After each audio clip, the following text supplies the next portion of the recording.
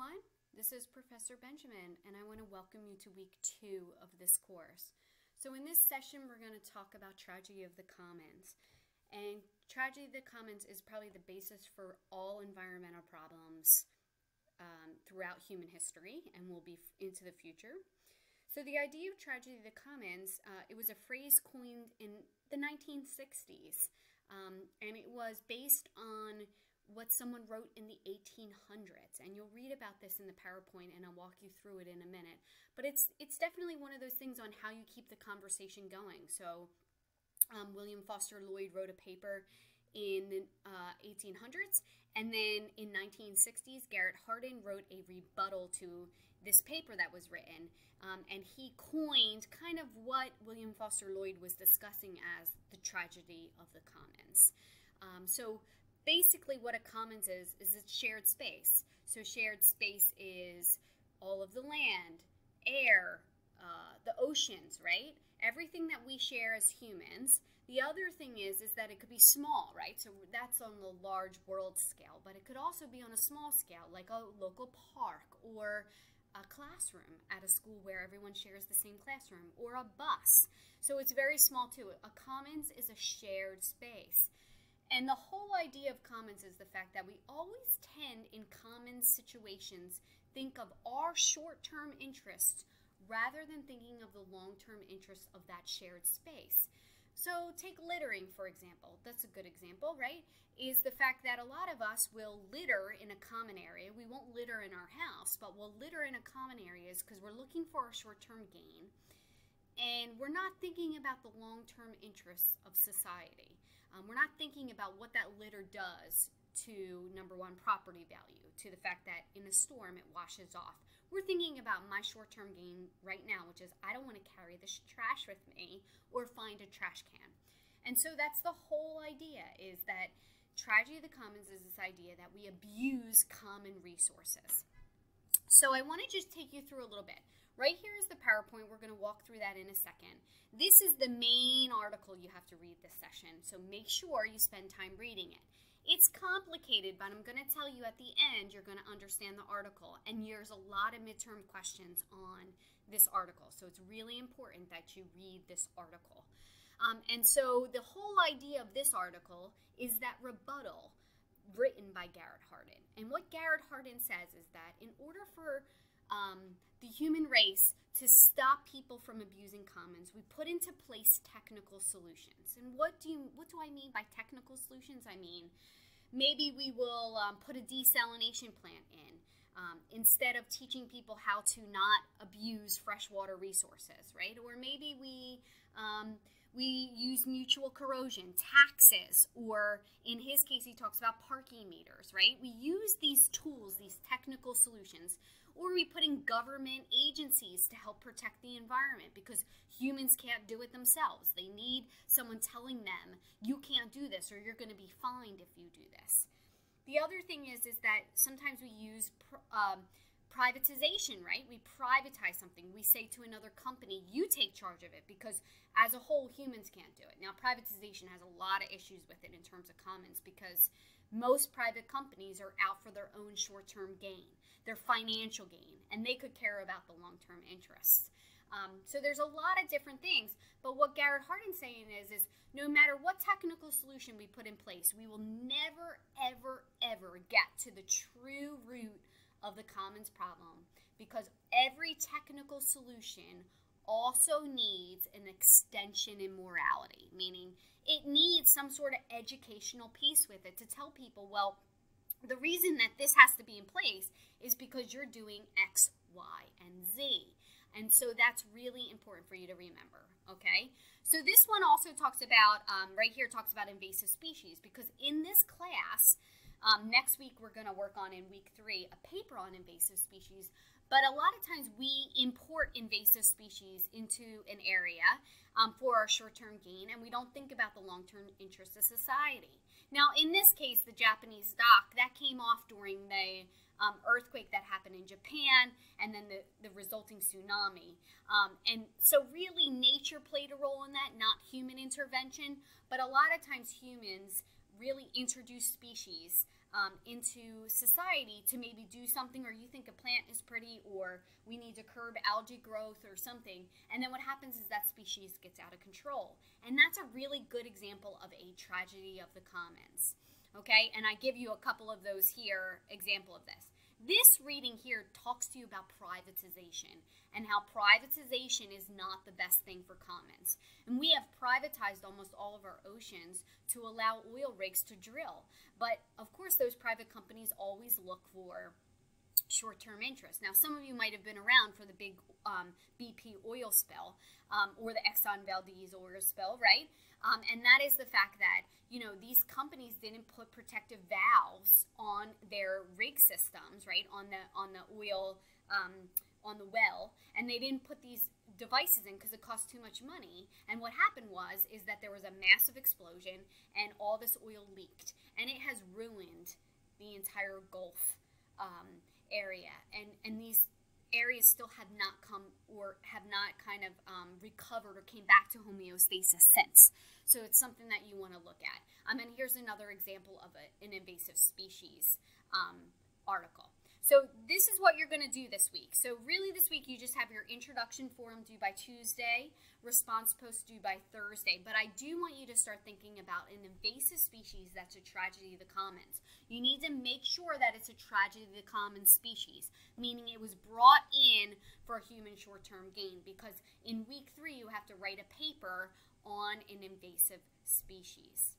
Okay, so now I'm going to move to the PowerPoint, to the Tragedy of the Commons PowerPoint. Whoops, oh my goodness, my screen's going all over the place here. So let me get up here. Okay, so here is my Tragedy of the Commons um, PowerPoint. And we're going to understand a couple things here. So we're going to understand Tragedy of the Commons and explain the invasive species. So here are required. You've got to read that article. I know it's a lot of reading and you might get freaked out by it. A lot of reading okay? And we will revisit that, and you have to cite that in numerous assignments and the midterm and the final. So here it is. William Forster Lloyd, professor of political economy, published a series in the 1800s on two lectures on the checks of population. And he introduced that idea of what a commons is. And I go through what a commons is here. Um, and since he lived in the 1800s, he used this pasture scenario. And this is it written out kind of what I'm going to say. Um, but I want to show you right here. So here's the pasture scenario, and this is a common space. And what he's saying is, is that, you know, let's say we're all sheep herders, and I have so many sheep, and you have so many sheep, and another classmate has a bunch of sheep, and we put them in here, right? And we all have equal amounts. And um, we are all kind of living in this little space, the shared area. And then all of a sudden, I have that inherent need for greed. You know, I go downtown, I shave my sheep, I sell my wool and I get 50 bucks for it. And I go, wow, I can't believe I can get 50 bucks for shaving my sheep. And so what I do is I buy another sheep because I'm like, hey, I can make more money. And then you decide, oh, well, I see that she added a sheep and she got 50 bucks for it. I'm going to add three sheep, right? And everybody is looking out for their short term gain, not the long term interest that these sheep need grass to graze. So what winds up happening is, is that we look for those short-term gains and we all add sheep and we don't think about the long-term interest and we ruin the entire pasture because all the sheep eat all the grass and then guess what? There's nothing less for them to eat. And then they all die off. So we've ruined it, right? We've ruined it because we looked out for a short-term interest rather than thinking about the long-term um, interests of the whole entire area. So William Forster Lloyd in this article proposes privatization, that you're going to take care of something if you own it. So he divides up the lots and says, this is what works. But we all know that privatization doesn't always work, especially now in a greed society, in a capitalistic society. You need to make money, right? And you got to make your shareholders happy, etc. So you're going to look for, for shortcuts to make more money. And you guys probably know this if you rent right? I've rent from a slumlord before. If you've rented from a slumlord before, you totally understand this concept. They're going to give you the crappiest appliances. They're going to cut corners just so that they can make a buck, right? So privatization doesn't always work to help the commons. And then I kind of walk you through all of this, okay? So how can we solve tragedy of the commons as per Lloyd? And he said that privatization. Privatization is what works. Um, and it really doesn't, and I kind of just explained why. But then in, Garrett Hardin comes along in 1960 and writes a rebuttal, and says, whoa, whoa, whoa. There's a lot more to this than what you're saying. Um, and he pinpoints a couple other issues. So his whole idea of Hardin's article is to explain the technical solutions that we have put into place to try and solve the misuse of commons. Instead, Hardin believes that we need to change our behaviors in order to solve commons problems.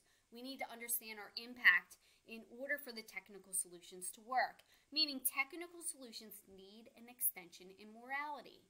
And so here's examples um, I give you um, of technical solutions that we've put into place, and they just really don't work.